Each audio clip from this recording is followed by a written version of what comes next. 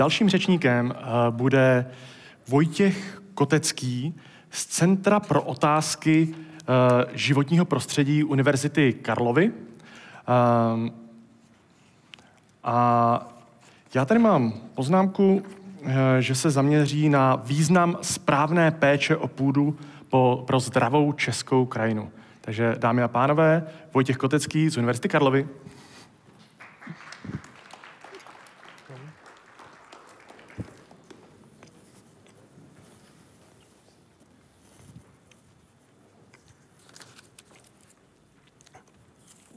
Dobré dopoledne, se tady odložím součást přednášky, to není snídaně. Eh, děkuji, děkuji za mm, pozvání a dobré dopoledne. Ehm, Světové ekonomické fórum se každý rok zeptá několika stovek světových biznismenů, v čem vidí největší rizika pro světové podnikání v příštích zhruba deseti letech. Ty výsledky se postupně mění, ale jedna věc, která tam bývá v poslední době systematicky vidět, je, že biznis mluví o rizicích, která vidí například ve změnách klimatu, tak to není překvapivé vzhledem k tomu, jaké důsledky mají pro řadu odvětví. Nicméně pozoruhodné je, že se tam v posledních několika letech začala více a více objevovat pozornost změnám biologické diverzity. Biznis najednou má pocit, že eh, úbytek biologické eh, diverzity, rozmanitosti živé přírody je problémem pro, naši, eh, pro naše podnikání, nejenom pro naši krajinu. Což je pozoruhodné, protože my jsme samozřejmě vždycky vnímali, že naše krajina chudne, že z ní mizí živá příroda, ale vnímali jsme to jako mm, negativní trend, který nám vadí, ale který vnímáme jako skutečně chudnutí živé přírody v krajině, eh, v krajině jako okuzování krajiny. V čeští myslivci dneska zastřelí o 97% méně zajíců než v roce 1975 a mimochodem ten rok 1975 není ten nejvyšší, nejvyšší bod na té, eh, na té křivce. Ten byl tuším někdy v roce 73. Um, ve druhé polovině 20. let se u nás každý rok zastřelilo 670 tisíc koroptví. Dneska v celém Česku žije, odhaduje se něco mezi 16 a 32 tisíci, tisíci koroptví. V Česku žije anebo žilo 596 druhů včelovitého hmyzu. Z toho 86 druhů už definitivně vymřelo a dalších 42% z toho původního počtu je na seznamu druhů ohrožených vyhubením, což v praxi samozřejmě znamená, že z velké části krajiny už definitivně zmizely a často přežívají jenom v pár, v pár posledních rezervacích. Příroda z krajiny mizí, krajina je chudší. A mm, asi to vnímáme jako negativní trend. Ale jak to souvisí s riziky pro mezinárodní podnikání? Proč by to mělo být problémem pro, uh, pro ekonomiku? My samozřejmě věnujeme dlouhodobě pozornost tomu, jaký, jak stav naší krajiny ovlivňuje naše, naše ekonomické výsledky. Ale většinou věnujeme pozornost tomu, co bychom nazvali asi jako hardwarem. 35 hm. české orné půdy je v kategorii silně, velmi silně, anebo kriticky extrémně ohrožené eh, vodní erozí. Hm. A to do toho ještě nepočítáme plochy, které jsou třeba jenom ohrožené nebo jenom, eh, jenom mírně ohrožené. 26% orné půdy vykazuje nadlimitní utužení. V půdě chybí organická hmota. My si uvědomujeme, že to má důsledky pro úrodnost půdy. A to ten hardware co si méně uvědomujeme a čemu v poslední době začínáme věnovat větší a větší pozornost, je, že pro úrodnost krajiny je důležité, pro úrodnost, úrodnost půdy, pro, pro ekonomické výsledky mimo jiné zemědělství, je důležitý taky něco, co bychom mohli nazvat softwarem. To, že půda není jenom ta hm, eh, hmota, ale je to živý ekosystém, ve kterém žijí myriády nejrůznějších drobných zvířat. Tohle je něco, čemu se říká chvostoskok. V každém metru čtvereční půdy bývají při nejmenším stovky tisíce, někdy v některých místech až sta tisíce chvostoskoků. Chvostoskoci jsou důležití, protože pomáhají zajišťovat koloběh živin tím, že rozkládají organickou hmotu, organickou hmotu v půdě. A jsou jednou z mnoha složek půdního ekosystému, který zajišťuje její úrodnost a ekonomické výsledky toho, kdo na ní hospodaří a nejenom, nejenom jeho. To samozřejmě není úplně novinka. My už od dob Charlesa Darwina víme, jak důležité pro úrodnost půdy jsou žížaly ale postupně zjišťujeme, že půdní ekosystém má mnoho dalších rozměrů. Žijí v něm kromě žížel také třeba chvostoskoci, roztoči, stonožky, bakterie pochopitelně, um, houby, hlísti a další živé organismy, které společně utvářejí jeho, jeho, eh, jeho, eh, jeho úrodnost. A navíc půda samotná je dobře, nějaký software, který vedle toho hardwareu tvoří, eh, tvoří krajný ekosystém. Ale ta půda samotná, nebo ten krajina má kromě toho v něco, co bychom možná mohli nazvat externí pamětí. Je tam i důležitý život, který není přímo v půdě, ale má také důležitý vliv na uh, ekonomickou výkonnost. A co nás samozřejmě první napadne, bude pravděpodobně, pravděpodobně opilování. Velká část plodin potřebuje k uh, uh, výnosům větší či, větší či menší míru, míru opilování. A my zjišťujeme, že efektivnost opilování je pro ten výnos také velmi důležitá. Je slavná legendární studie, která zjistila, že jahody opilované hmyzem jsou červenější, tuší, větší, sladší, pevnější a déle vydrží. Což na první pohled vypadá strašně zvláštně, by to mělo souviset s tím, že jsou opilované hmyzem, až do chvíle, kdy přijdeme na to, že tam je poměrně srozumitelný mechanismus, eh, to opilování hmyzem zajišťuje lepší růst toho, té, té, toho plodu a tím e, také kvalitnější, e, kvalitnější produkt. Nicméně Jahody jsou taky trochu eterický produkt, který neúplně, e, není úplně běžný, běžným e, e, zjevem našich polí. Zajímavé je, že stejné věci platí pro řepku. Řepka opilovaná hmyzem má e, těžší a olejnatější semena. A podobných studií, které se dívaly na řepku i na další plodiny, proběhla celá řada. Před několika e, lety několik výzkumníků dalo dohromady různé studie, které se dívaly právě na vliv opilovačů na řepku a dívali se, jestli je nějaká souvislost mezi vzorcem opilovačů a e, výsledky, e, výnosy, výnosy řepky. A zjistili, že klíčové souvislosti jsou dvě. Jeden, jedna, která úplně moc nepřekvapí, je, že kde je více opilovačů, tam, je, tam jsou lepší výnosy.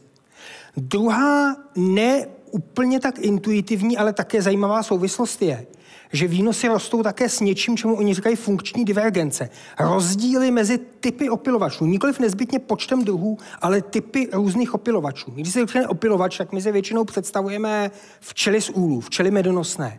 Ale ve skutečnosti jenom asi třetinu opilování v evropských krajinách zajišťují včely z úlů. A zhruba dvě třetiny zajišťují divoký hmyz, samotářské včely, čmeláci, pestřenky, případně tu a tam nějaký motýl, anebo, anebo brouk. A zjišťujeme, že účinnost opilování významně závisí také na tom, že ho zajiš, nejenom kolik opilovačů v krajině je, ale jaké různé typy opilovačů eh, ho zajišťují, protože se zdá, že různé druhy hmyzu nebo různé skupiny hmyzu na uh, těch plodech fungují, fungují jinak. Proto je samozřejmě důležité nejenom zajistit zdravou půdu, ale také je důležité, aby zdravá půda byla součástí živé, rozmanité krajiny, aby například opilovači měli čím se živit v době, kdy zrovna ta plodina nekvete.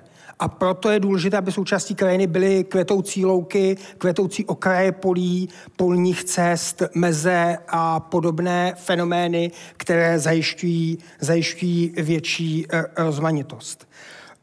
Krajina, ve které ubývá hmyz, ve které mm, jsou včelovité, ve kterých včelovitých hmyz je na seznamu druhů ohrožených vyhubením, ve které od, doslova odtéká půda, je samozřejmě chudší a méně úrodná. A tím se dostáváme k těm koláčům. A souvislost s výkonem, ekonomickým výkonem zemědělského podniku je asi docela srozumitelná, ale co to má všechno společného s bosy velkých nadnárodních uh, firm a s jejich ekonomickými výsledky? Má to samozřejmě, souvisí to samozřejmě tím, že ty, ten ekonomický výkon, ekonomické konsekvence rozmanitosti krajiny se postupně také prokápávají do jejich vlastních dodavatelských řetězců, protože zemědělství vlastně není nic jiného než dodavatel nějakých dalších firm, které ty, ty suroviny dále, eh, dále zpracovávají. A pokud třeba prodáváte koláče, tak pro vás možná je docela důležité, že s menším množstvím organické hmoty v půdě bude menší výnos pšenice. Může být pro vás důležité, že e, cena na ceně tvarohu se bude podepisovat eroze půdy na polích s kukuřicí, která potenciálně snižuje výnosy kukuřice, kterou se krmí ten skot, který dodává mléko do toho tvarohu. Bude pro vás důležité to, že s ubývajícím opilujícím hmyzem stoupá potenciálně cena, um, cena marmelády. Různé dodavatelské řetězce se v posledku sčítají do měnících se poměrů na trhu i pro odběratele, kteří ty suroviny dále využívají. A pokud ty rozdíly mohou být minimální, ale pokud vyrobíte milion koláčů denně, tak se to samozřejmě už do vašich výsledků může nějakým způsobem eh, promítat. Ministerstvo zemědělství má odhad, jaké jsou ekonomické škody z eroze půdy v Česku. To číslo odpovídá zhruba čtvrtině veškerých výnosů rostlinné výroby v České republice. Kdyby se tohle číslo začalo postupně nějak, alespoň částečně promítat do nákladů, do ceny e, té suroviny, tak to samozřejmě pro odebírající firmy začne mít eh, významné důsledky a proto řada firm začíná systematicky věnovat pozornost tomu, jak předejít rizikům, které vyplývají z chudnutí krajiny, ubývání biologické diverzity pro jejich vlastní dodavatelské řetězce a pro primární produkci. Mimo jiné, protože samozřejmě, samozřejmě postupem času bude hůře s tím, jak se uh, potřeba zajistit odolnost krajiny zvyšuje kvůli přicházejícím změnám klimatu. Tohle je výsledek studie, kterou nedávno dělali zejména kolegové z Czech Globe, z Ústavu globální změny Akademie věd, kde se dívali na uh, uh, suchost let za posledních 2110 let a zjistili, že ty, ty, ty, ty roky po roce 2015 byly nejsušší léta ve střední Evropě za posledních 2110 let dál už neměli, neměli data, na která, by se mohli, na která by se mohli dívat. Co s tím? U nás, když se mluví o chudnoucí krajině, tak se většinou soustředíme pozornost na to, že máme hodně velká pole. A skutečně, když se podíváte po středoevropských regionech, tak průměrná velikost půdních bloků u nás patří mezi extrémně veliké. Nejsme v tom sami, podobně jsou na tom další země s podobnou historií zemědělství, bývalé východní Německo, Maďarsko, Slovensko a některé části, některé části Polska. E, bez sporu zmenšování výměry půdních bloků by pomohlo, ale zdaleka to není jediný problém, který potřebujeme řešit. Potřebujeme zároveň začít pracovat na tom, abychom cíleně utvářeli rozmanitou krajinu, abychom eh, vedle polí eh, také eh, zajišťovali rozmanitost té krajiny v sousedství zemědělské půdy, protože i ta se podílí na, na úrodnosti a na ekonomických výsledcích. A samozřejmě klíčovou otázkou potom bude, jak toho dosáhnout. Vláda se chystá do roku 2030 zvýšit podíl ekologického zemědělství na české zemědělské půdě na 25% což nejspíš bude poměrně významný tak mimo jiné, protože to bude znamenat, že se u nás patrně začne ve velkém zavádět zemědělství, ekologické zemědělství na orné půdě. U nás ekologické zemědělství zatím z více než 80% se dohrává na trvalých travních porostech, na loukách a pastvinách. A teď nejspíš začne postupně expandovat také do orné půdy. Nicméně i poté samozřejmě zůstanou tři čtvrtiny českého zemědělství v konvenčních farmách, často těch velkých zemědělských podnicích, které utvářejí a budou evidentně v budoucnu dál z velké části utvářet českou zemědělskou krajinu. A proto potřebujeme najít smysluplný model, který pomůže tato řešení zavést také do intenzivního konvenčního zemědělství ve velkých eh, zemědělských, eh, ve velkých zemědělských podnicích. Abychom toho dosáhli, tak pravděpodobně budeme muset především vytvořit ekonomické prostředí, ve kterém bude dávat smysl do rozmanitosti krajiny a do lepší péče o půdu investovat. Už tu byla řeč o zemědělských dotacích, které se postupně začínají měnit z modelu zaměřeného na produkci, na podporu lepší péče o půdu a krajinu. Podobně eh, by například, bychom například měli více eh, uvažovat o tom, jak systematicky hledat cesty k tomu, abychom výrazně technolo- investicemi, výrazně te- posunuli technologie v českém zemědělství, tak aby se přidaná hodnota mohla vytvářet především ekonom- technologickou, technologickou pokročilosti v konvenčním zemědělství. Byla a bude tu samozřejmě řeč o platbách za uhlík, které vlastně slouží k něčemu jinému, ale mění ekonomickou bilanci a tím umožní zemědělským podnikům začít se dívat po jiných zdrojích, jiných zdrojích ekonomiky.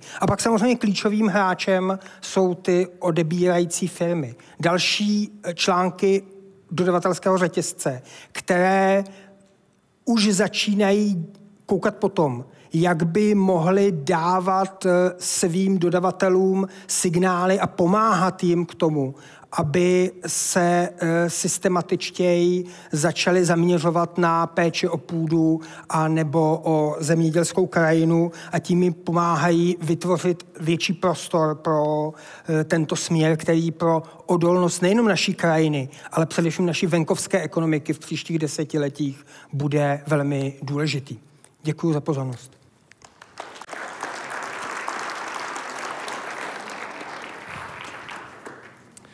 Děkuji mnohokrát. Eh, já jsem si vlastně... Zajíma, eh, zaujala mě opět ta biodiverzita. No. Kdy, jak jste mluvil o tom opilovacím hmyzu, o tom, že nikoho nepřekvapilo, že čím více, tím lépe, ale opět jsem tady slyšel tu rozmanitost. V podstatě ta důležitost, což vnímám i se vyne napříč celým tím regenerativním zemědělstvím, nejen mít kvantitu, hodně života, ale že se bavíme o nějaké rozmanitosti funkčních skupin. A teď od vás slyším, že to vlastně platí i pro ty opilovače. Před chvílí jsme se tady bavili o tom, že to platí pro rostliny a jejich funkční skupiny. Takže já si tak přebírám, že vlastně v každé té skupině těch organismů, se kterou pracujeme, vlastně nějaká míra rozmanitosti je úplně zásadní, aby to začalo fungovat. Přesně tak. Mě tady na to navazuje otázka, vlastně Někdo se ptal, na kolik procent, nebo z kolika procent si myslíte, že by ta česká krajina měla být obospodařována nějakým takovýmhle biodiverzitním, regenerativním způsobem, aby jsme ten život začali dostávat zpátky? Um, úplně jednoduchá odpověď je 100%. Výborně. Ale, ale, ale tam je důležité ole. Já si myslím, že důležitá rozmanitost těch přístupů. Mm-hmm. Někdo zavede ekologické zemědělství. Mm-hmm. Někdo zavede uh, bezrobné postupy. Hmm. Někdo zavede jiné přístupy regenerativního zemědělství a někdo bude jenom nějak modifikovat konvenční zemědělské postupy, které hmm. se dneska používají. Myslím si, že tady není jeden recept, kterým hmm. by se české zemědělství příštích, nebo evropské zemědělství obecně v příštích desetiletích vydávalo, ale že budeme hledat kombinace nejrůznějších přístupů, které hmm. nám umožní, umožní se přizpůsobit mm, ekonomickým poměrům, místním podmínkách jednotlivých, podmín, eh, jednotlivých podniků. Každý si musí najít svoje smysluplné řešení. Já si to překládám, takže vlastně říkáte, každý, kdo se snaží aspoň něco, aspoň trochu udělat, nějaký krok od toho standardního konvenčního základu nějak přispět, je vlastně dobře a pojďme hledat ty nejlepší cesty. To určitě a hlavně to, kudy ta cesta povede, mm-hmm. možná u každého zemědělského podniku bude trochu jiná. Mm, to slycháme taky často v celém tom regulatorním tématu. Uh, důležitý je kontext, vaše konkrétní farma, něco pro vás bude fungovat, něco pro vás nebude fungovat, prostě potřebujete to vyzkoušet a začít si jít svou vlastní cestu, Přesně tak. aby vás to nebolelo, abyste byli schopni být profitabilní. Uh, já jsem měl ještě asi poslední otázku na vás. My jsme se tady bavili trošku o tom, že vy děláte nějaké jakési poradenství pro firmy eh, ohledně inovací environmentálních. Hmm. hmm. Máte nějaký pro nás zajímavý postřeh? Vlastně ta mentalita těch firm, jak teď nereagují na to, co se vlastně snaží dělat? My neděláme úplně poradenství, my spíš s firmami spolupracujeme. Já pracuji na Centru pro otázky životního prostředí hmm. Univerzity Karlovy, což je v podstatě výzkumná instituce. Hmm. Ale hm, pracujeme tam v malém oddílu, který se jmenuje Inkubátor environmentální udržitelnosti, který má za úkol pracovat s firmami a také s veřejnou zprávou na vytváření a zavádění ambicioznějších environmentálních inovací. Jeden příklad právě teď pracujeme s, se Svazem obchodu a cestovního ruchu, združení mimo jiné právě obchodních řetězců, hmm. na tom, jak jaká pravidla péče o půdu by mělo smysl, aby začal, se začala zavádět v českém zemědělství a na čem by ty obchodní řetězce mohly spolupracovat se svými vlastními dodavateli a v čem by jim mohly pomáhat. Skutečně konkrétní praktická opatření, soubor opatření, ze kterých by si mohli vybírat a začít je na nich se svými dodavateli systematičtěji spolupracovat a tím trochu měnit ten vztah, který mezi nimi zatím bývá spíše takže v podstatě přes čistě obchodní. svaz průmyslu pomáháte tam přemýšlet, jak vyloženě dát nějaké nástroje a postupy a myšlení dál do toho průmyslu a do těch organizací, aby ty mohly nadále pomoct producentům a začalo to nějak do sebe zapadat. V principu tak to je. Skvěle. Tak já vám moc krát děkuji, dámy a pánové, to byl Vojtěch Kopecký z Univerzity Karlovy. Děkuji.